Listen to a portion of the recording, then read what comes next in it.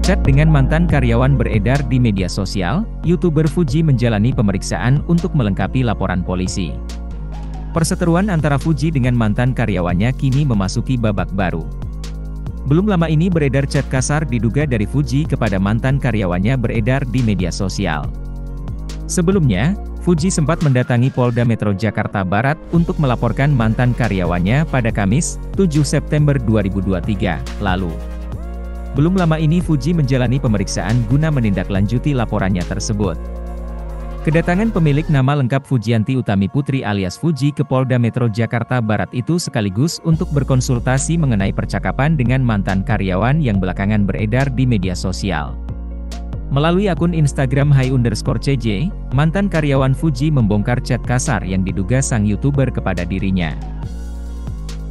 Bahkan mantan kekasih Tarik Halilintar itu meminta yang karyawan yang saat itu bekerja menjadi kameramennya tersebut untuk tak usah terlalu dekat dengan dirinya.